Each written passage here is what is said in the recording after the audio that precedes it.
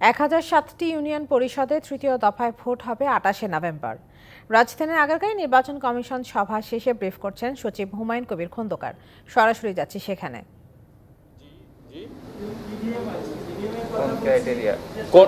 জি very good very good এটি যেই ক্রাইটেরিয়াটা নেওয়া হয়েছে সেটি হলো যে সকল জায়গায় ইতোমধ্যে আমাদের ইভিএম খুব কম ব্যবহৃত হয়েছে। অর্থাৎ জনগণকে ইভিএমের সাথে পরিচিত করানোর জন্য এই ধরনের ইউনিয়ন পরিষদগুলোকেই নির্বাচন করা হয়েছে।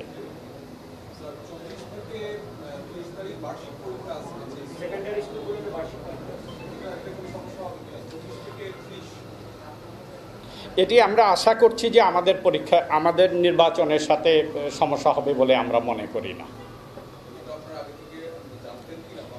না, যে স্কুলের যে ষষ্ঠ শ্রেণি থেকে যে নবম শ্রেণির কথা বলেছেন, এটি পূর্বে আমাদের ধারণা, আমরা নর্মালি যে মাননীয় কমিশন যে বিষয়টি আমলে নিয়েছেন, সেটি হলো যে পাবলিক যে এক্সামিনেশন এসএসসি এবং এইচএসসি এই দুইটা বিষয়কে আমলে নিয়েই নির্বাচনী তফসিলটা নির্ধারণ করেছেন।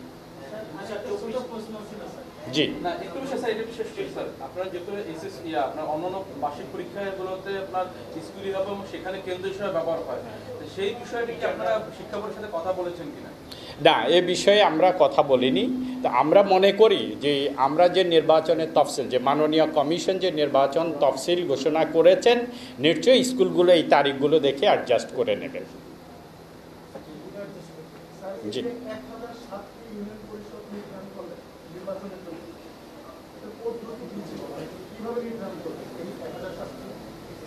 এট-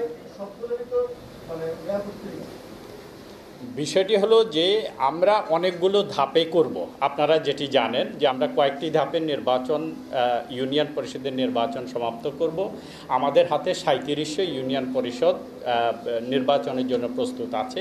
ইতোমধ্যে আমাদের যে আটশো পঁয়তাল্লিশটি সহ প্রায় বারোশোর মতো ইউনিয়ন পরিষদের নির্বাচন হয়ে গেছে। বাকি যেগুলো, সেগুলো আমরা চিন্তা করেছি কয়টি ধাপে আমরা শেষ করতে পারব।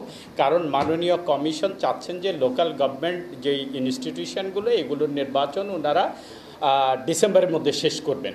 এটি মাথায় রেখেই কিন্তু আমরা এই এক হাজার ষাটটি নির্ধারণ করেছি। পরবর্তী ধাপে যেটি হবে সেটিও নির্ধারণ হবে, এই বিষয়টি মাথায় রেখে।